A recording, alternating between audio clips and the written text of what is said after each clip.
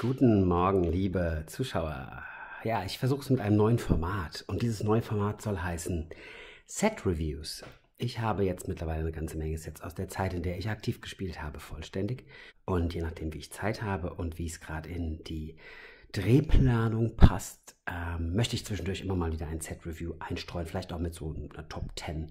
Gucken, ob ich das technisch hinkriege. Mit den meines Erachtens coolsten Karten des jeweiligen Sets. Und anfangen möchte ich mit Allianzen. Und das mache ich einfach deswegen, weil das das erste Set war, das ich vollständig hatte. Mir fehlte bis vor kurzem nur noch äh, ein Land, eine äh, Karte. Ähm, insgesamt bis vor einem halben Jahr und die habe ich glücklicherweise auch noch gezogen. Ähm, und es fehlt mir ein paar Doppelte noch, was die Artworks anbetrifft. Und so kann ich, konnte ich das relativ schnell fertigstellen. Und ja, will das euch heute mal zeigen und mit euch heute mal durchgehen, ein bisschen Nostalgie schwelgen. Ähm, bevor ich davon äh, erzähle und die einzelnen Karten anschaue, vielleicht kurzer Überblick über Allianzen als Set.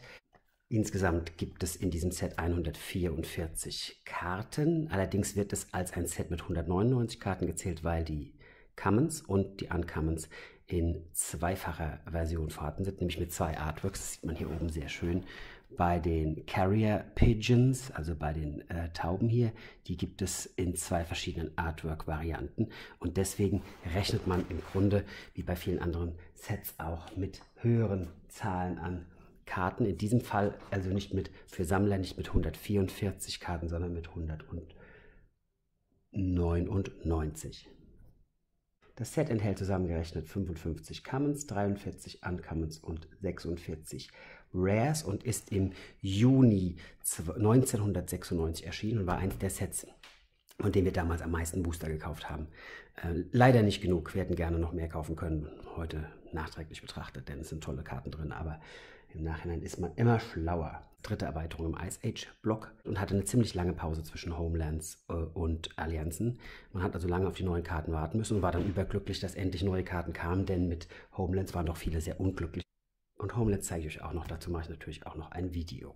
Außerdem ist das die letzte Erweiterung, die mehrere Artworks hat pro Card. Ähm, früher war das üblich in anderen Erweiterungen, teilweise bis zu vier, etwa denkt an Fallen Empires, aber hier war das das letzte Mal gemacht worden. Danach haben wir grundsätzlich bei allen Erweiterungen immer nur noch ein Artwork pro Karte. Über die Hintergrundgeschichte habe ich schon ein bisschen was erzählt. Es geht darum, dass das Ice Age die Völkerdominaria stark unter Druck setzt und sie kämpfen um ihr Überleben und es ist deswegen wichtig, dass Völker Allianzen eingehen, um gemeinsam äh, diese harte Zeit zu überwintern. Was ich vielleicht noch sagen wollte, ist, dass insgesamt keine neuen Mechaniken enthalten sind. Äh, also kumulative Versorgung und die Sachen, die wir bei Ice Age hatten, sind hier auch enthalten. Was aber interessant sind, sind die Pitch Cards, also Kartenzaubersprüche, die man auslösen kann, dadurch, dass man Karten abwirft und damit Mana einspart, was sie in mindestens einer Hinsicht sehr spannend macht, nämlich als sehr früh einsetzbar, zum Beispiel im ersten Zug schon. Und da werden wir nachher die Force of Will sehen. Jetzt schauen wir uns das Set mal an, wie es optisch aussieht und gucken mal, was die Karten sind, die uns besonders gut gefallen. Also wir haben hier im weißen Bereich, da geht es los mit den Carrier Pigeons fliegend. Und du kannst am Beginn des, der Versorgungsphase ähm, nachdem sie ins Spiel gekommen sind, eine Karte ziehen. Das ist eigentlich ganz geil. Das war auch bei Ice Age ziemlich oft so. Du konntest dann, wenn du die Zaubersprüche sprichst, im nächsten Zug eine Karte ziehen. Allerdings eine 1-1er fliegende Kreatur für 4 Mana plus eine Karte war für damals doch auch schon relativ teuer. Ähm, Ruf der Pflicht ist die nächste Karte, 2 Mana. Spontanzauber kannst Spielsteine ins Spiel bringen.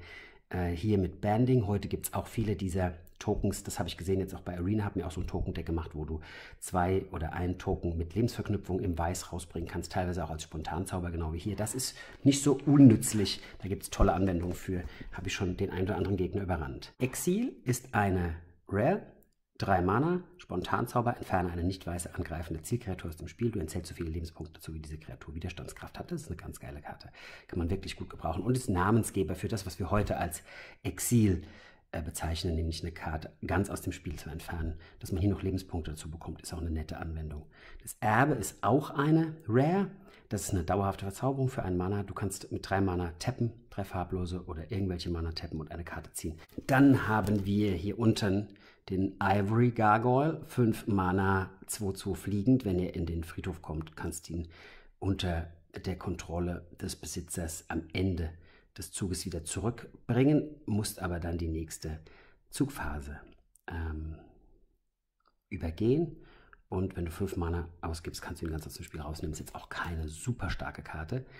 Der Juniper-Fürsprecher 3 Mana 1, 2. Wenn er nicht getappt ist, erhalten deine grünen Kreaturen plus 1 plus 1. Das ist so schon ein Hinweis auf diese Allianzenlogik, dass verbündete Farben sozusagen gemeinsam mehrfarbige Kombos vor, ähm, eingehen. Und dann haben wir hier hinten noch diese wunderschöne äh, Eskorte. Das ist ein wunderschönes Bild, an das erinnere ich mich auch gerne von früher. 4 Mana 2, 3 mit Banding, allerdings leider eine doofe Karte. Douglas Schuler hat hier einige gemacht, Quinton Hoover. Die Künstler, die ihr hier lest, Kaya Folio, Rob Alexander, das sind auch die Leute, die bei Homelets und anderen älteren Sets die Optik gemacht haben. Und ich finde, das haben sie sehr schön gemacht. Und wenn man sich so diese ganzen Seiten mal am Stück anschaut, sieht man eigentlich, was für ein wunderschönes, auch ästhetisch ansprechendes Set das ist, das doch eine ganz eigene ähm, Formsprache hat. Und ähm, das mich immer wieder begeistert, wenn ich es aufschlagen kann. Hier oben haben wir die zweite Version des äh, Rettungshundes. Das seht ihr da oben nochmal, auch ein sehr schönes Bild. Und dann haben wir hier die Kieldorianische Bürgerwehr. 1,6 für 4 Mana. Du kannst am Ende des Angriffs, wo sie angegriffen hat oder geblockt hat, eine minus 0, minus 1 Marke drauflegen und einen Deserteurspielstein ins Spiel bringen, der eine 0-1er Kreatur darstellt. Auch ganz witziges Kärtchen. Dann haben wir hier die Calderon Pride. Ähm, ich muss gucken, dass ich das mit dem Licht noch hinkriege. Wenn wir das öfter machen, so Set-Reviews, dann wird es sicherlich besser mit der Optik. Ähm, zwei Mana, eine Kreaturverzauberung bekommst du plus 1, plus 2 und du kannst mit blauem Mana switchen von einer Kreatur zu einer anderen. Hier unten haben wir dann noch eine Version von Kieldors Stolz. Das ist die zweite Version davon, das zweite Artwork, beides von Kaya Folio in verschiedener Optik. Dann haben wir hier zweimal wiederum ähm, Martyrdom, ein Instant für drei Mana. bis zum Ende des Zuges kannst du Schaden auf eine Zielkreatur, die du kontrollierst, umleiten. Auch in zwei verschiedenen Optiken von Mark Poole, auch der ein bekannter Künstler. Und hier unten sind nochmal zwei verschiedene Optiken, die Nobles Deeds.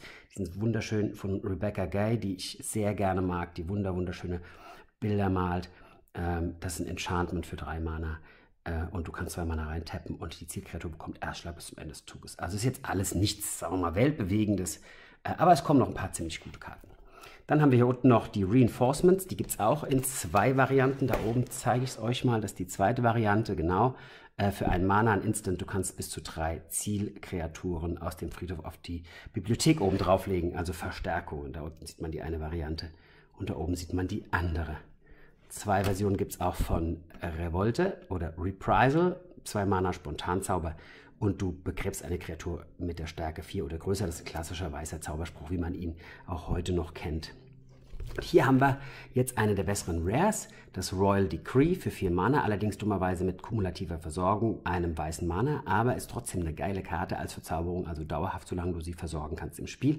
Und immer wenn ein Sumpf, ein Gebirge, ein schwarzes Permanent, ein rotes Permanent getappt wird, bekommt der Kontrolleur dieses Permanents einen Schadenspunkt durch das Royal Decree.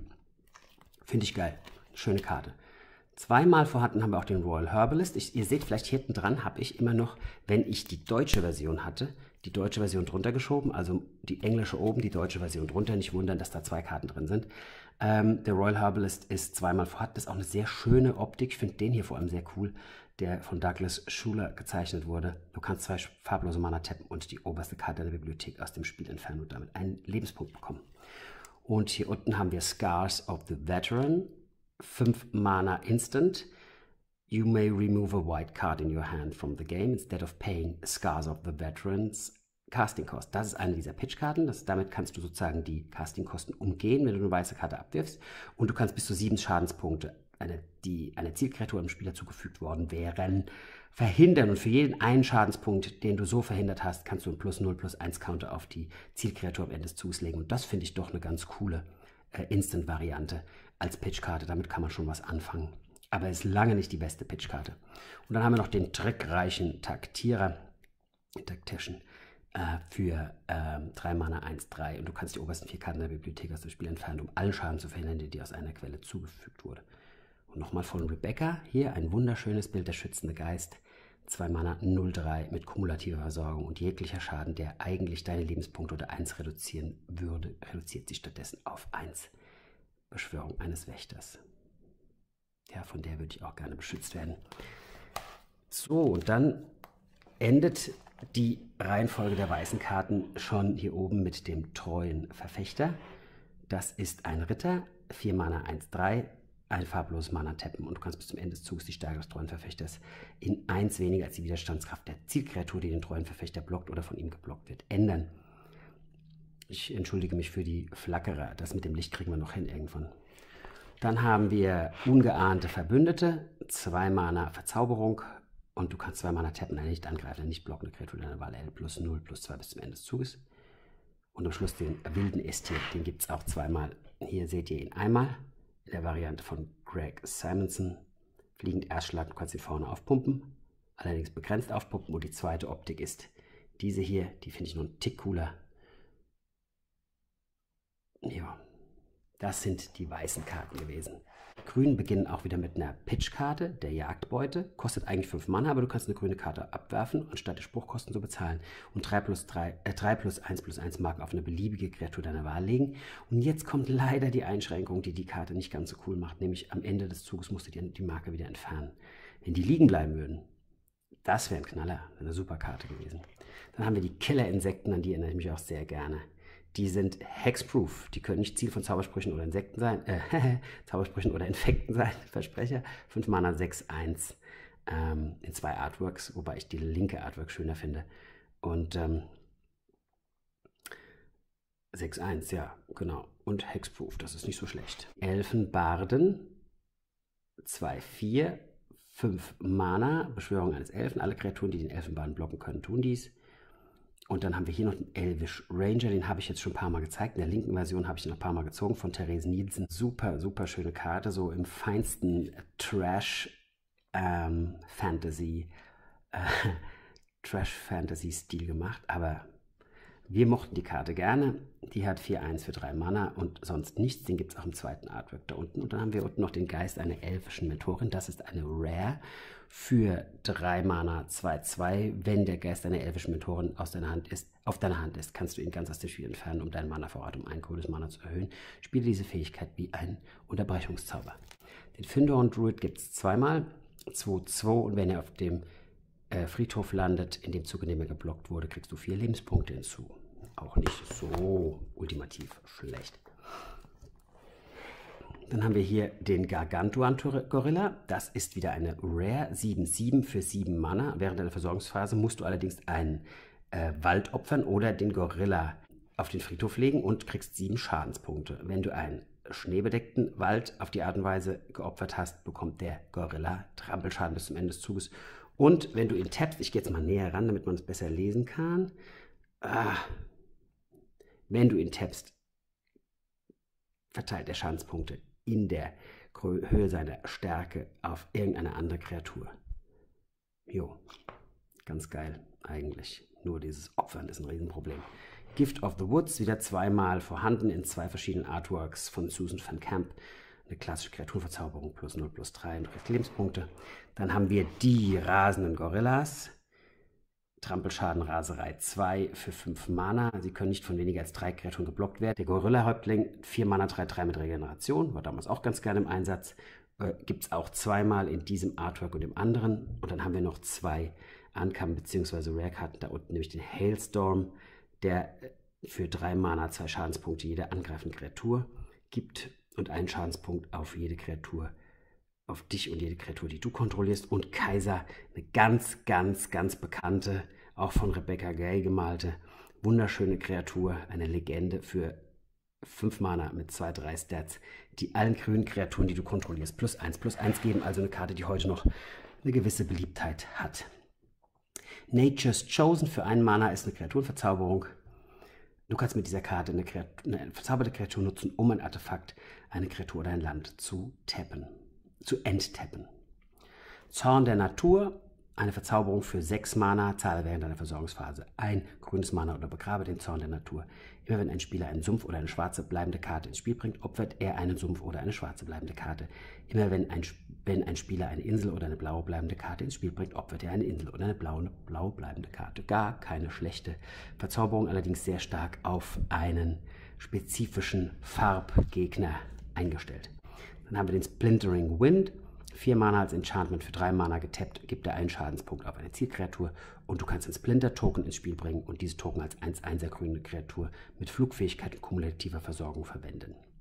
Taste of Paradise, zwei verschiedene Artworks für vier Mana. Du kriegst drei Lebenspunkte und du kriegst drei Lebenspunkte darüber hinaus, wenn du zusätzlich zwei Mana zahlst. Und zwar jedes Mal, wenn du diese zwei Mana zusätzlich zahlst. Der Tornado für fünf Mana, eine Verzauberung mit kumulativer Versorgung. Tappst du drei Mana und zählst, zahlst drei Lebenspunkte für jeden Velocity Counter auf dem Tornado und du kannst ein Ziel permanent ähm, zerstören und ein Velocity Counter auf den Tornado legen. Und du kannst es nur einmal im Zug machen.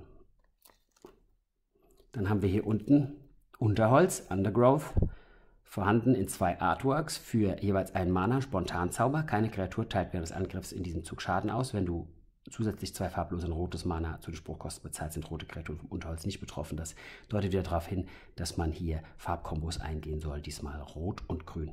Die Kletterranken gibt es auch in zwei verschiedenen Optiken. 1-4er Mauern, die Flieger blocken können für 3 Mana. Und die Kreaturen, die man damit blockt, die enttappen nicht. Beziehungsweise du kannst damit Kreaturen tappen. Fein.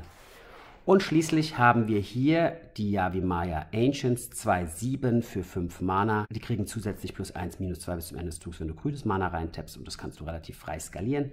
Und die letzte Karte, auch wieder eine der äh, selteneren Karten sind die Yavimaya Ameisen für 4 Mana, 5 1 im Trampelschaden, allerdings kumulativer Versorgung von 2 grünen Mana. Die können in dem Zug angreifen, in dem sie auf deiner Seite ins Spiel kommen, also haben die Eile.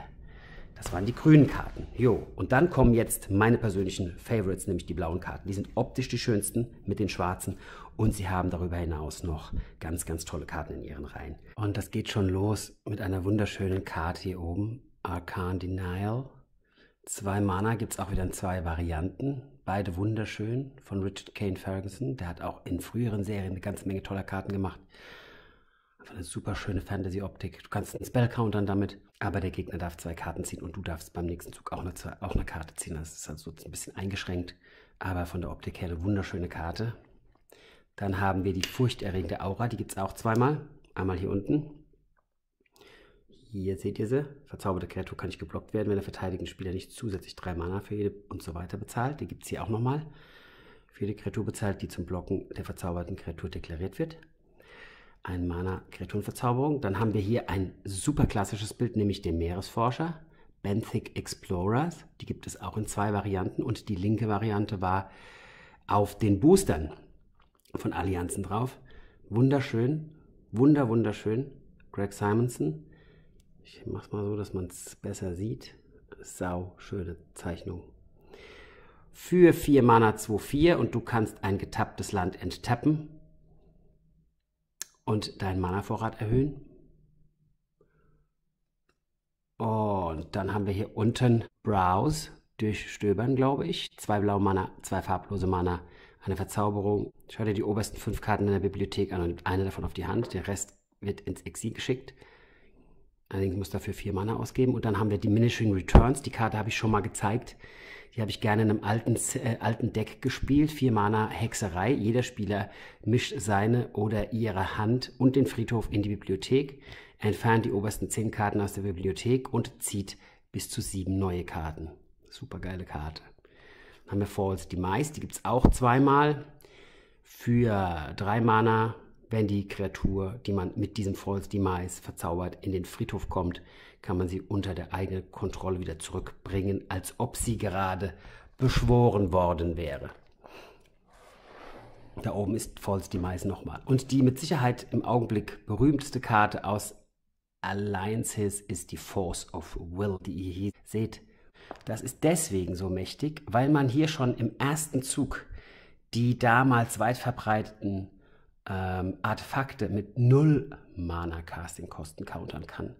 Ähm, was sonst schwierig geworden wäre, denn der billigste weitere Counterspell wäre, hätte zwei Mana gekostet und damit wäre man gleich im ersten Zug in der Regel nicht in der Lage gewesen zu countern. Das heißt, dieser Spruch ermöglichte es zum ersten Mal sehr starke Decks in ihrer Startphase zu bremsen, die auf sehr, sehr frühe, sehr billige, sehr mächtige Spells setzten, wie zum Beispiel Teil der Power 9. Damit konnte man sowas unterbinden und die ist heute noch sehr wertvoll. Diese Karte ist ein Ankommen.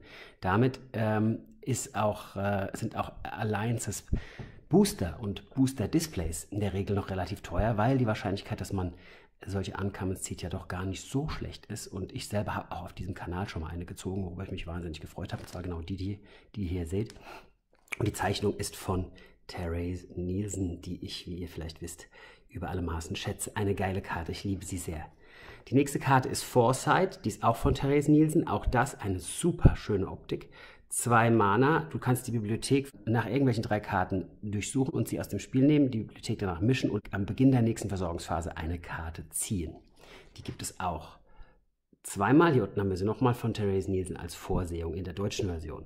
Dann haben wir Ladnams Legacy, seht ihr hier zweimal nebeneinander. Auch das sind zwei verschiedene Varianten einer derselben Karte für zwei Mana. Du kannst eine Karte aus der Hand nehmen und sie in die Bibliothek mischen und dann zwei Karten der nächsten Versorgungsphase ziehen.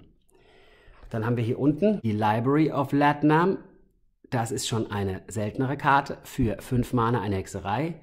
Der Zielgegner sucht sich was aus. Du darfst entweder drei Karten beim Beginn der nächsten Versorgungsphase ziehen oder du darfst die Bibliothek nach einer Karte durchsuchen, sie in die Hand nehmen und danach die Bibliothek durchmischen. Super Karte, kann man gut gebrauchen. Phantasmal Sphere ist auch, glaube ich, eine Rare für zwei Mana 01 fliegend. Am Beginn deiner Versorgungsphase machst du einen 1-1-Counter auf die Phantasmal Sphere und während deiner Versorgungsphase zahlst du ein farbloses Mana für jede dieser plus 1 plus 1 Counter auf der Phantasmal Sphere oder begräbst sie beziehungsweise irgendein Mana. Und wenn sie aus dem Spiel rauskommt, machst du ein Orb-Token ins Spiel unter der Kontrolle deines Gegners. Es wird als Sternchen, Sternchen blaue Kreatur mit Flugfähigkeit verwendet, wobei Sternchen der Anzahl von diesen 1-1-Countern auf Phantasmal Sphere entspricht. Dann haben wir zweimal den Soldevischen Ketzer. 2-2 weißes Mana und Tappen kannst du zwei Schadenspunkte bei einer Kreatur verhindern und der Gegner darf eine Karte ziehen. Und diesen Soldevischen Ketzer gibt es hier oben nochmal. Soldivi Heretic in einer anderen Optik. Dann haben wir Soldivi Sage, auch in zweimaliger Ausführung. Auch eine sehr schöne Optik, wenn ihr mich fragt. 1-1er Kreatur für zwei Mana. Du kannst zwei Länder opfern, um drei Karten zu ziehen. Und dann musst du eine dieser Karten wieder abwerfen. Dann haben wir hier unten damals viel gespielt, den stacheligen Seestern. Ist er scharf? Jawohl. Für drei Mana, 0-1 mit Regeneration. Am Ende eines Zuges, in dem der stachelige Seestern regeneriert wurde, kannst du einen Seestern-Spielstein pro Erfolg der Regeneration ins Spiel bringen, der 0-1er Kreatur ist. Also das ist schon eine witzige Karte gewesen, die haben wir oft gespielt.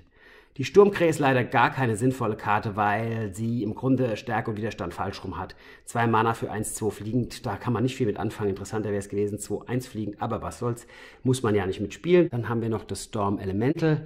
6 Mana, 3, 4 fliegend und du kannst mit einem blauen Mana jeweils Effekte auslösen, entweder die oberste Karte aus der Bibliothek entfernen, um eine Kreatur mit Flugfähigkeit zu tappen oder die oberste Karte von deiner Bibliothek aus dem Spiel entfernen. Und wenn das ein Snow-Covered Land war, dem Storm Elemental plus 1 plus 1 bis zum Ende des Zugs zu geben, ist jetzt keine so mega starke Karte. Suffocation ist noch dagegen eine ganz witzige Karte, zwei Mana ein Instant. Und immer nur wenn eine rote Hexerei oder ein Instant mir Schaden zugefügt hat, dann äh, kriegt der Caster dieses äh, Spruchs vier Schadenspunkte von mir im Gegenzug und ich darf eine Karte ziehen äh, in der nächsten Versorgungsphase. Das ist schon eine ganz geile Karte und ziemlich bekannt, auch gerade wegen der Optik, die wunder wunderschön ist, von Mark Teden, auch ein ganz bekannter Künstler ähm, von Magic, ist der Thought Lash für vier Mana, eine Rare als Enchantment mit kumulativer Versorgung. Du musst die Top-Karte deiner Bibliothek aus dem Spiel entfernen. Es werden natürlich dann über die Züge hinweg eine ganze Menge von Karten, die du so entfernen musst. Das ist natürlich ein Problem. Wenn du das nicht machst, musst du die Bibliothek aus dem Spiel entfernen und äh, Thought Lash äh, begraben.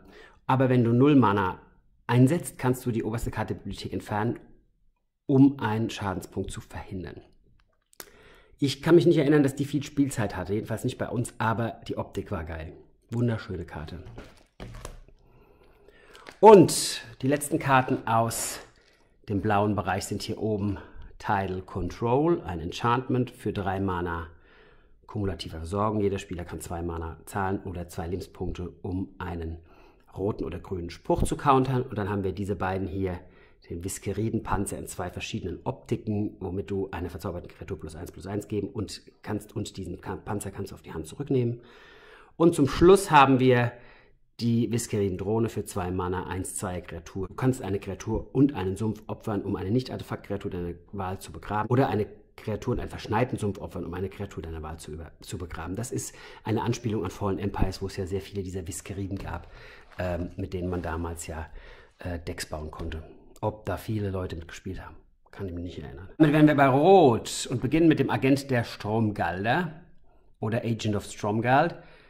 Ähm, ein Mana 1-1, du kannst rotes Mana zu deinem Mana-Pool hinzufügen. Gar nicht so schlecht. Die Karte. Dann haben wir hier die Balduvian Horde. Die war sehr beliebt, sehr mächtig. 4 Mana, 5, 5. Wenn sie ins Spiel kommt, wirfst du eine Karte at random von deiner Hand ab oder du musst sie begraben. Aber für die damaligen Verhältnisse war ein 5-5er für 4 Mana. Ein super Preis. Die Baldovian Warmakers 3-3 mit Raserei 1 für 5 Mana haben Eile. Dann haben wir den Kampfinstinkt und zwar zweimal. Bestial Fury. Ich nehme jetzt mal den unteren. Du kannst eine Karte am Beginn deiner Versorgungsphase ziehen, nach dem Zug, in dem Bestial Fury als Kreaturenverzauberung ins Spiel gekommen ist. Und wenn die verzauberte Kreatur angreift oder blockt, bekommt sie Trampelschaden, bekommt plus 4, plus 0 bis zum Ende des Zuges. Nicht so doof.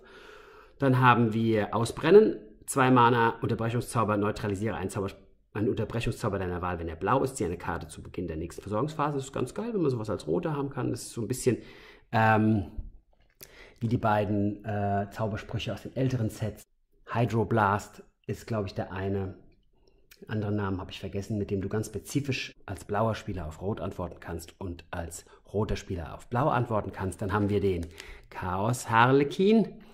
4 Mana 2, 4 und du kannst ein rotes Mana oder die oberste Karte aus deiner Bibliothek ins Exil schicken. Wenn das ein Land war, bekommt der Chaos Harlekin minus 4, minus 0 bis zum Ende des Zuges und sonst plus 2, plus 0 bis zum Ende des Zuges. Das ist jetzt pff, nicht so die Superkarte, die man unbedingt spielen muss.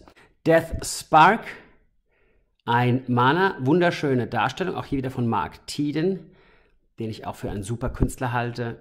Ein Mana Instant, er er wirkt einen Schadenspunkt auf einen Gegner oder eine Zielkreatur und am Ende der Versorgungsphase, wenn Deathspark im Friedhof ist, mit einer Kreaturenkarte direkt oben drüber kannst du ein Mana zahlen, um den Deathspark direkt in deine Hand zu nehmen. Der unterworfene Speer ist ein Goblin, ist zweimal drin in verschiedenen Optiken von Rebecca Gay. Das Ganze für drei Mana, 2-2. Dem kann man Gebirgstarnung bis zum Ende des Zuges geben.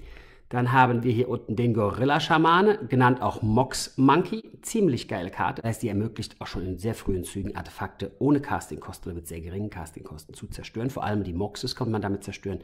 Also Artefakte, die null Mana kosten, kannst du natürlich, weil du hier null Mana einsetzen musst, mit einem einzigen Mana getappt zerstören. Das ist natürlich eine Mordshilfe gleich am Anfang, vor allem wenn diese Kreatur auch nur äh, ein Mana kostet. Und deswegen hat man ihn halt auch Mox Monkey genannt, weil er so effektiv gegen früh gesprochene Artefakte wirkte. Witzige Karte, optisch auch sehr schön. Dann haben wir den Schlachtruf der Gorillas. Zwei Mana Spontanzauber. Angreifende Kreaturen können diesen Zug nicht nur von einer Kreatur geblockt werden. Dann haben wir unten den ganzen nochmal eine andere Optik. Da seht ihr wieder das Ganze in zweifacher Ausfertigung und Guerilla Tactics oder Guerilla-Taktik, äh, Spontanzauber für zwei Mana, zwei Schadenspunkte auf Zielkreatur oder Spieler. Wenn ein Spruch oder Effekt durch einen Gegner dich dazu zwingt, die Guerilla-Taktik abzuwerfen, gibt es doppelt so viel Schaden. Das ist doch ganz geil. Dann haben wir hier oben das Folge Omen für 5 Mana. Spontanzauber bringe alle Insel auf die Hand ihrer Besitzer zurück. Jeder Spieler opfert eine Ebene oder eine weiße bleibende Karte für jede weiße bleibende Karte, die er kontrolliert. Ja, und natürlich eine ganz bekannte Karte. Pillage, die war richtig geil. Drei Mana ist heute noch nützlich. Bury, Target, Artifact or Land. Immer gut, wenn man zwei Sachen mit einer Sache kaputt machen kann. Hat Richard Kane Ferguson schön gemacht. Primitive Justice, zwei Mana Hexerei, zerstört Target Artefakt. Und ähm, du kannst weitere Artefakte zerstören, wenn du zusätzliches Mana ausgibst und sogar Lebenspunkte bekommen, wenn du grünes Mana hinzufügst. Pyrokinese, 6 Mana Instant, du kannst eine rote Karte aus dem Spiel entfernen, anstatt die Castingkosten zu bezahlen und damit vier Schadenspunkte in einer Art und Weise aufteilen, die du aussuchst. Und das wiederum ist eine dieser Pitch-Karten, die es dir ermöglicht, auch ohne Mana-Einsatz Schaden zu verteilen. Das ist gar nicht so doof kann man ganz gut einsetzen.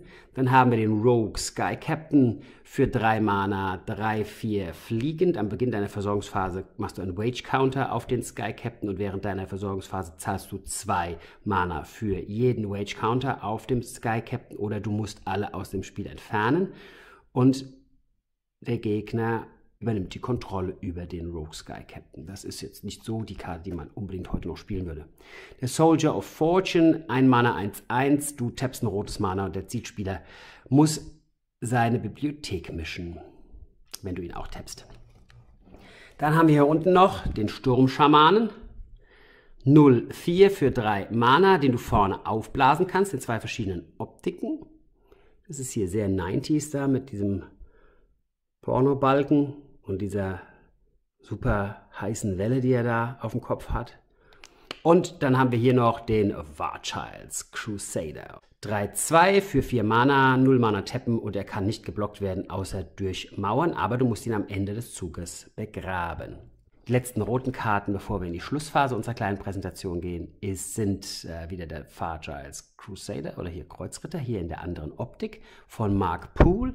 Dann Fargiles Cavalry oder Kavallerie, 2 Mana 3, 4, Trampelschaden, Raserei 1, kumulative Sorgen, bringe einen überlebenden Spielstein unter der Kontrolle des Gegners ins Spiel, behandle diesen Spielstein wie eine 1-1 rote Kreatur. Ist natürlich äh, ein 3-4er für 2 Mana schon eine ganz geile Karte, auch wenn sie diesen negativen Effekt hat. Und die letzte Karte ist die Stimme des Veteranen, ein Mana Kreaturenverzauberung. Du kannst eine, die verzauberte Kreatur tappen, eine andere Kreatur plus 2 plus 1 zu geben und das Ganze gibt es nochmal in einer anderen Optik. Jo. Das waren jetzt die roten Karten.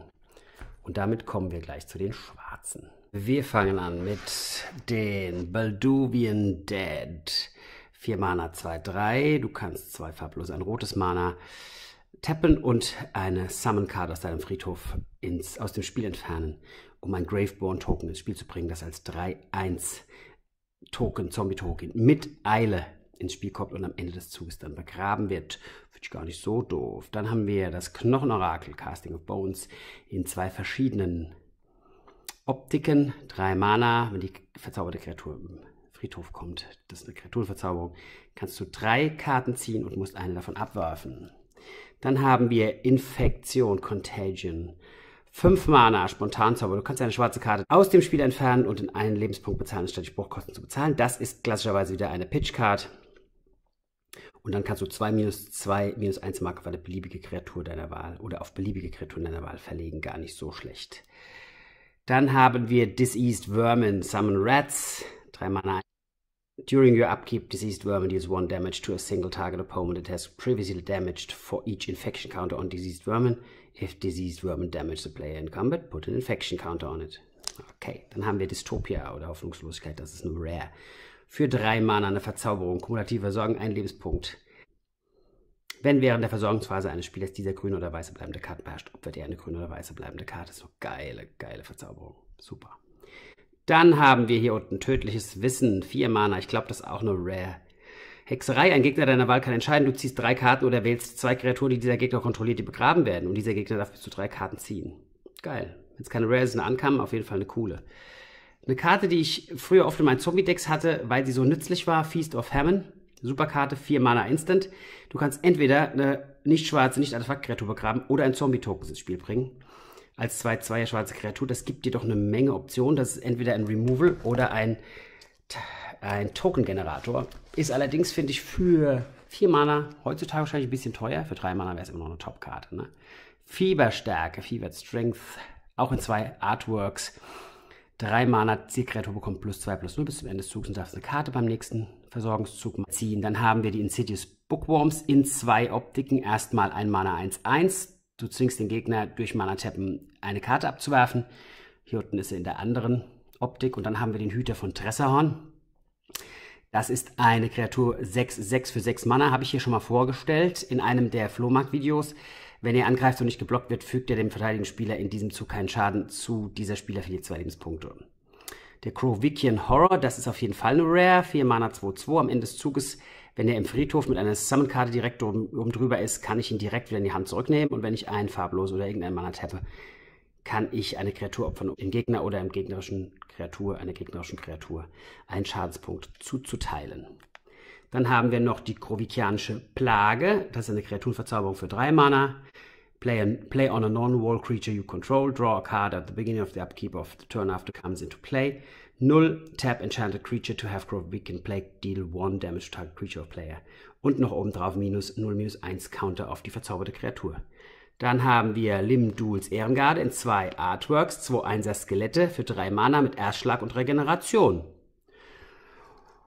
Dann haben wir hier oben ein sehr schönes Bild von Richard Kane Ferguson. Misinformation, da sieht man nämlich, wie dieser Eisriese hier dem anscheinend die falsche Richtung zeigt. Ein Mana Instant. Put up to three target creatures from an opponent graveyard on top on, of his or her library in any order. Phantasmal Fiend gibt es in zwei, äh, zwei Varianten. 4 Mana 1, 5. Ein Mana tappen, plus 1, minus 1 bis zum Ende des Zuges. Oder du äh, tappst ein farbloses oder irgendein Mana, ein blaues Mana. Du kannst die Stärke und die Widerstandskraft des Phantasmal Fiends tauschen. Dann haben wir Phyrexian Boon oder Phyrexianischer Segen in zwei Artworks für 3 Mana Kreaturenverzauberung. Wenn sie schwarz ist, plus 2, plus 1, wenn sie nicht schwarz ist, minus 1, minus 2. Das ist wiederum gar nicht so doof, weil das gleichzeitig ein Booster-Effekt und ein Removal ist. Ritual of the Machine, das ist eine Rare. Vier Mana opfere eine Kreatur, um Kontrolle über nicht schwarze, nicht Artefakt-Kreatur zu übernehmen. Das wiederum ist gar nicht so doof. Und dann haben wir hier unten Soldevi Adnet. Zwei Mana, 1, 2 in zwei Artworks. Tappen eine schwarze oder eine Artefakt-Kreatur opfern, um die Menge schwarzes Mana zu deinem Mana-Pool hinzuzufügen, die die Casting-Kosten ausgemacht haben, dieser geopferten Kreatur. Und dann haben wir hier noch Stench of Decay. Ein Instant 3 Mana, alle Nicht-Artefakt-Kreaturen bekommen minus 1, minus 1 bis zum Ende des Zuges. Gibt es hier oben nochmal Stench of Decay. Alle Nicht-Artefakt-Kreaturen bekommen minus 1, minus 1 bis zum Ende des Zuges. Dann haben wir den Stromgeld Spy. 4 Mana, 2, 4. If it attacks and is not blocked, you may choose to have it deal no damage to defending player this turn. If you do so, defending player must play his or her hand face up on the table bis er das Spiel verlässt. Das heißt, du kannst sehen, was er auf der, Karte, auf der Hand hat. Und am Schluss haben wir noch die Sumpfmoskitos in zwei verschiedenen Varianten. 2 Mana 01 fliegend. Dann kannst du Poison Counters mit verteilen. Die gibt es in diesen beiden Optiken. Die Poison Counter habe ich auch schon ein paar Mal erzählt. Gibt es ja heute in der Form nicht mehr oder wird nicht mehr so systematisch genutzt wie damals. Womit wir bei den goldenen Karten wären und anfangen bei Energy Arc. Weiß und Blau, Instant, wunderschön. Jetzt kommen wirklich traumhaft schöne Karten und auch hier die Zeichnung ist wirklich toll von, na wem schon, Therese Nielsen. Untap any number of target creatures. Those creatures neither deal nor receive damage in combat this turn. Dann haben wir Lim Duels Paladin. Schwarz-Rot plus 2. 0-3 Beschwörung eines Paladins. Das ist mir zu lang, um es vorzulesen. Er versucht Trampelschaden. Und du kannst ihn vorne und hinten aufblasen. Könnt ihr kurz Pause machen, dann seht ihr, was er kann. Den kann man durchaus schon noch mit ein oder anderen Commander-Deck einbauen, aber insgesamt fand ich den nie so besonders. Dim Duels Vault. Blaues und schwarzes Mana instant. Look at the top five cards of your library. As many times as you choose one, you may pay one life to put those cards on the bottom of your library and look at the top cards of your library. Also das heißt, damit kannst du deine Bibliothek durchsuchen und musst dafür Lebenspunkte bezahlen. Die ist eigentlich gar nicht so schlecht. Dann haben wir den Lord von Tresserhorn. Ein rotes, ein schwarzes, ein blaues Mana und ein farbloses oder irgendeins. 10, 4, Beschwörung einer Legende. Wenn der Lord von Tresserhorn ins Spiel kommt, zahle zwei Lebenspunkte, opfere zwei Kreaturen und ein Gegner deiner Wahl zieht zwei Karten. Das ist schon eine Mords-Einschränkung, um die Kreatur aufs Feld zu kriegen, aber er hat auch Regeneration. 10, 4 mit Regeneration für 4 Mana ist schon gar nicht so schlecht. Unglück. Schwarz, Rot, Grün und ähm, irgendwas. Hexerei, ein Gegner deiner Wahl kann entscheiden. Das ist auch immer ganz gut. Du legst eine plus 1 plus 1 Marke auf alle deine Kreaturen, hältst 4 Lebenspunkte dazu oder legst eine minus 1 minus Marke auf jede Kreatur, die dieser Gegner kontrolliert. Und das Unglück fügt ihm 4 Schadenspunkte zu. Finde ich stark, gefällt mir gut. Natürlicher Segen, eine grün-weiße Combo, zwei Mana dazu.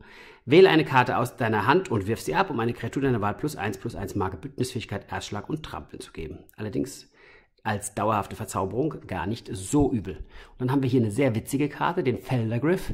Der ist auch heute noch in mancher Commander-Deck, im mehrfarbigen Commander-Deck zu finden, allein aus Spaß, weil es so eine witzige Karte ist. Weiß, Blau, Grün für vier Mana 4, 4. Du kannst weiß tappen, dann wird der fliegend. Du kannst blau tappen, dann kannst du auf die Hand zurücknehmen. Du kannst grün tappen und dann verursachter Trampelschaden. Dann haben wir den Adrenalinstoß, rot und grün, Spontanzauber, wähle eine grüne oder rote Karte aus deiner Hand, wirf sie ab und der Kreatur deiner Wahl plus x plus 0 bis zum Ende des Zugs zu geben. Und es gibt noch Trampelschaden obendrauf. Der Wandering Mage, habe ich auch schon ein paar Mal gezeigt in Flohmarkt-Videos, glaube ich.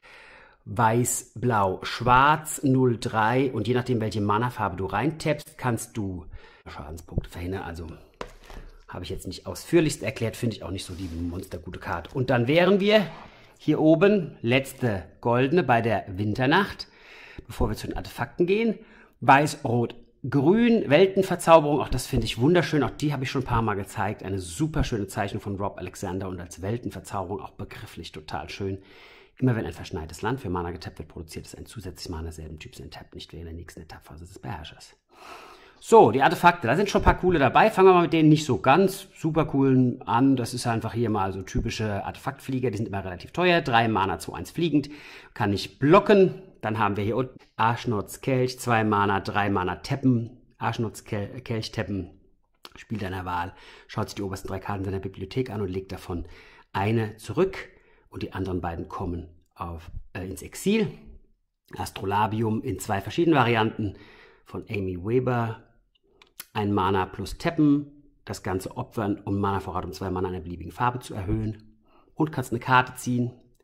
Flood Water Dam, das ist eine Rare, soweit ich weiß. Drei Mana Artefakt. Und du kannst X Länder tappen. Gustas Zepter, 0 Mana, wenn er das Spiel verlässt oder die Kontrolle über den Zepter verlierst, lege alle Karten unter Gustas Zepter auf deinen Friedhof und du kannst, wenn du es tappst, Karten aus der Bibliothek verdeckt unter Gustas Zepter legen und sie auf die Hand nehmen. Das ist also ein bisschen Kartenmanipulation. Du kannst mit der Hand und dem Zepter hin und her spielen. Eine der wirklich besten Artefaktkarten in diesem Set ist der Helm der Gehorsamkeit und das ist auch sicherlich eine der Karten, die heute noch relativ teuer ist. In Allianzen für vier Mana ein Artefakt. Lege die oberste Karte der Bibliothek eines Gegners deiner Wahl auf seinen Friedhof. Mache dies so lange, bis du x Karten oder eine Kreaturenkarte auf diesem Friedhof gelegt hast. Das siehst du hier oben, kannst du also x ausgeben und tappen. Ähm, wenn die letzte Karte, die, auf den Friedhof, die auf den Friedhof gelegt wurde, eine Kreaturenkarte war, begrabe den Helm der Gehorsamkeit und bringe diese Kreatur unter deiner Kontrolle ins Spiel, als ob sie gerade beschworen worden wäre. X kann nicht null sein. Schöne Karte. Der Richtungsweiser. Null Mana, ein Mana tappen, Richtungsweiser tappen und opfern, um bis zu vier Standardländer deiner Wahl aus dem Friedhof eines beliebigen Spielers auf seine Bibliothek in beliebiger Reihenfolge zu legen. Ne? Und er kann dann eine Karte ziehen. Mishras Groundbreaker, Vier Mana, der wird getappt und geopfert und die Zielland wird eine 3-3 Artefaktkreatur, die immer noch als Land zählt. Finde ich auch eine geile Zeichnung hier, wie aus dem Land da die Kreaturen kommen. Mystic Compass, 2 Mana Artefakt, 1 tappen und den tappen und ein Ziel-Mana-Land, ein Mana produzierendes Land wird zu einem Basic Land Type meiner Wahl bis zum Ende des Zuges. Dann haben wir den Phyrexian Devourer, 6 Mana Artefaktkreatur, 1-1. Wenn seine Power größer als 7 ist, kommt er auf den Friedhof. Ich kann 0 Mana tappen, remove the top card of your library from the game to put a plus x plus x counter of Rexian Devourer, wobei x gleich der Mana-Kosten dieser Karte ist, die ich auf diese Art und Weise äh, von der Bibliothek entfernt habe. Haben wir das Phyrexian Portal, das ist auf jeden Fall auch wieder eine Rare, das ist auch eine super schöne Zeichnung von Pete Venters. Drei Mana Artefakt. Du zahlst drei Mana und der Zielgegner schaut die obersten zehn Karten meiner Bibliothek und teilt sie in zwei Stapel ein. Und dann darf man sich auswählen, welchen dieser Stapel man in die Hand nimmt und welcher ins Exil kommt. Das ist immer ganz cool. So Sachen liebe ich. Die sind jetzt, sagen wir mal, ich glaube nicht im aktuellen Spielbetrieb immer so wichtig, aber wenn man jetzt äh, so eine Casual-Runde hat oder Commander oder irgendwas in der Art hat, das macht unglaublich viel Spaß. Da gibt es viel zu lachen immer sehr unterhaltsam und immer so ein bisschen Glücksspiel dabei. Das mag ich gerne. Phyrexianische Kriegsbestie, drei Mana Opfer ein Land, wenn die Kriegsbestie das Spiel verlässt und die Phyrexianische Kriegsbestie fügt dir einen Schadenspunkt zu und das Ganze noch 3-4. Das ist auch keine so besonders gute Karte. Hat noch eine zweite optische Ausprägung, nämlich hier und dann gibt es den Skarabäus der Unsichtbaren. Der kostet zwei Mana, den opferst du, um alle Verzauberungen auf einer bleibenden Karte deiner Wahl, die du besitzt, auf die Hand ihrer Besitzer zurückzubringen und darfst wieder mal eine Karte ziehen. Das finde ich eigentlich immer ganz schön, dass man in ganz vielen dieser Karten zusätzlich beim nächsten Zug eine Karte ziehen kann. Und dann haben wir die Shieldsphäre, 0 Mana, die als Mauer zählt und wenn sie als Blocker ausgewählt wird, kriegt sie eine minus 1, minus, minus 0, minus 1 Counter drauf und hat 0, 6. Und wir sind kurz vor Schluss unseres Set Reviews.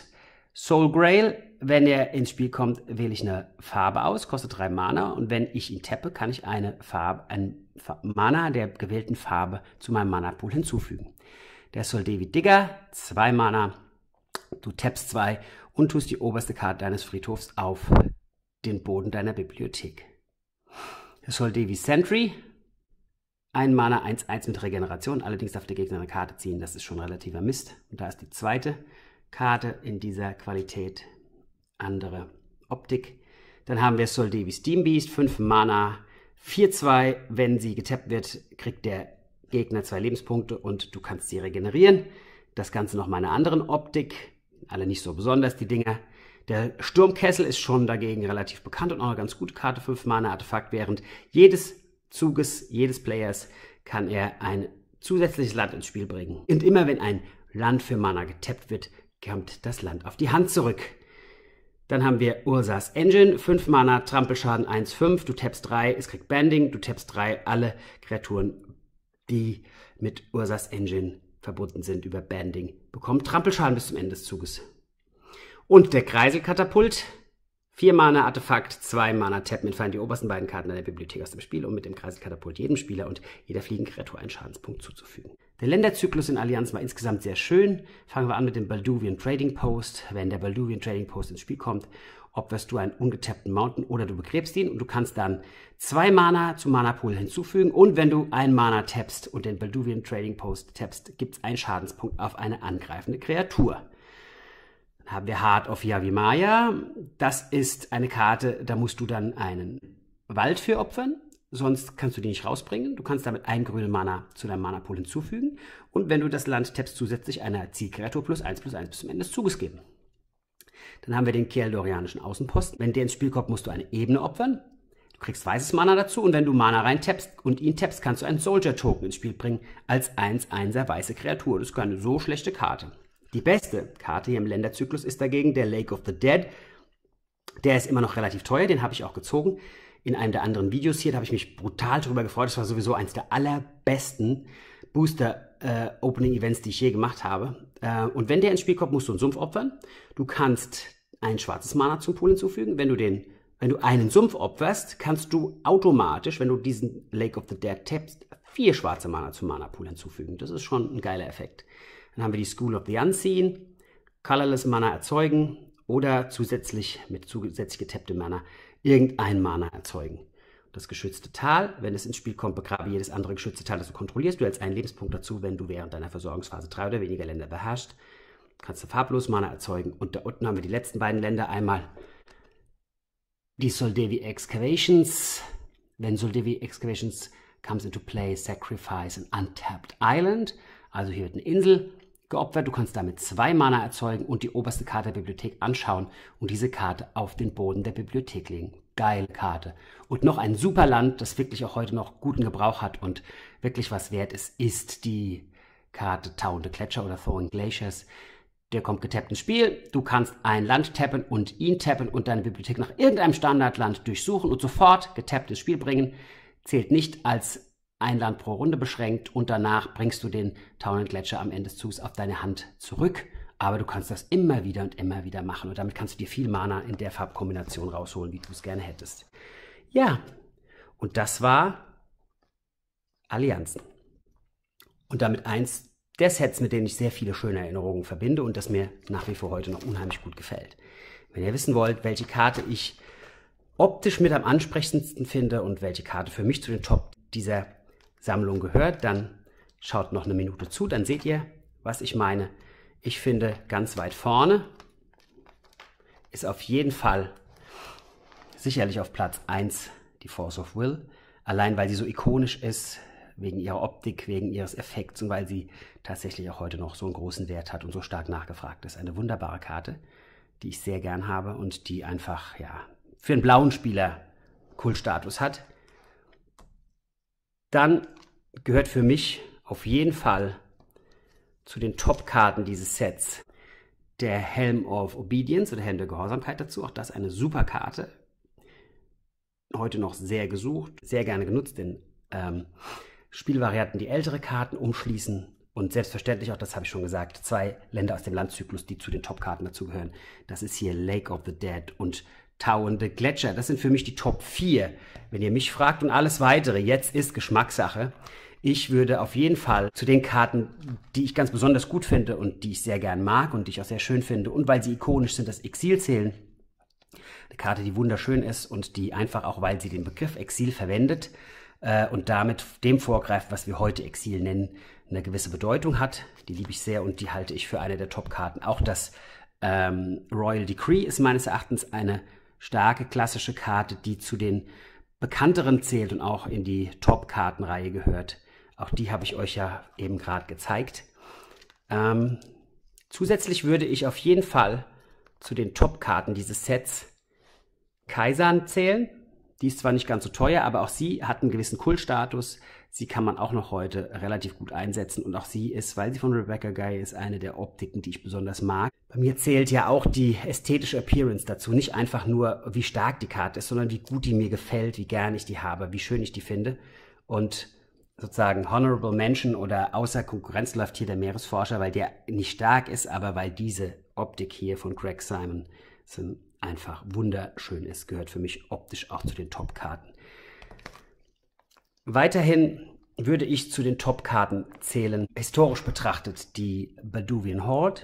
Wenn die ins Spiel kommt, na, hast du einen 5-5er für 4 Mana. Jedenfalls war sie damals sehr stark und sehr gern eingesetzt. Heute wahrscheinlich nicht mehr so der ultimative Bringer. Und sicherlich gehört Pillage dazu. Auch das eine klassische, sehr starke Karte, die man heute noch gebrauchen kann. Ist auch eine der Top-Karten, die wirklich noch Spielzeit bekommen und die zu den ikonischen Karten dieses Sets gehören. Und bei Schwarz würde ich auf jeden Fall auch wegen der Optik die Dystopia nehmen als Verzauberung. Sehr schöne Karte, die allerdings wahrscheinlich nicht viel Spielzeit bekommt, aber die ästhetisch unglaublich äh, präsent ist bei mir immer noch, und die ich mich sehr gerne erinnere. Und äh, bei den ähm, goldenen Karten gibt es einige Karten, die sicherlich nicht so schlecht sind. Dazu gehört bestimmt auch Limduls Vault und das Unglück hinzu. Allerdings ähm, ist es nicht so, dass die heute noch zu den absolut legendären Karten gehören. Ja, das wären meine Favoriten in diesem Set. Was ich auch noch sehr gut finde, ist hier Keldron Outpost. Starke Karte, die ich immer gerne in weißen Sets gespielt habe. Jo, das war mein Set-Review Allianzen. Und ich hoffe, es hat euch ebenso viel Spaß gemacht wie mir. Und ihr habt es genauso genossen wie ich, dieses schöne ästhetische Gesamtkunstwerk anzuschauen, das doch ja durch diese einheitliche Formensprache und die Schönheit der Motive unheimlich gut gefällt. Ich mag es sehr gerne. Und ähm, ja, darüber, was da nun wirklich die Top-Karten sind, kann man natürlich immer streiten. Viele Turnierspieler hätten jetzt vielleicht den Akzent auf die eine oder andere Karte gelegt. Auch sind optische Festlegungen Geschmackssache. Nicht zuletzt ist ja auch hier zum Beispiel die Phantasmal Sphere optisch eine wunderschöne Karte. Und man sieht auch wieder, dass die klassischen Künstler dieser Zeit, Mark Teden, Therese Nielsen, Richard Kane Ferguson und andere, einfach ihren Stempel aufgedrückt haben, wie sie es auch schon in anderen Serien gemacht haben. Und deswegen äh, erscheint das Ganze auch so ästhetisch aus einem Guss und so schön gemacht. Und ähm, ja, hat so viele ikonische, mustergültige Ästhetiken für Magic hervorgebracht, an die man sich sicherlich erinnert und die in dieser Form heute, in dieser künstlerischen Qualität gar nicht mehr so existieren. Ja, ich hoffe, ihr hattet Spaß dabei. Ich hoffe, ihr fandet es auch so schön wie ich und ich hoffe, ihr freut euch drauf, wenn ich das nächste Set präsentiere. Das kann allerdings noch ein bisschen dauern, denn das hier zu machen ist immer ziemlich viel Arbeit und ich muss noch lernen, wie man das Flackern der Kamera in den Griff kriegt. Vielen Dank fürs Zuschauen. Tschüss.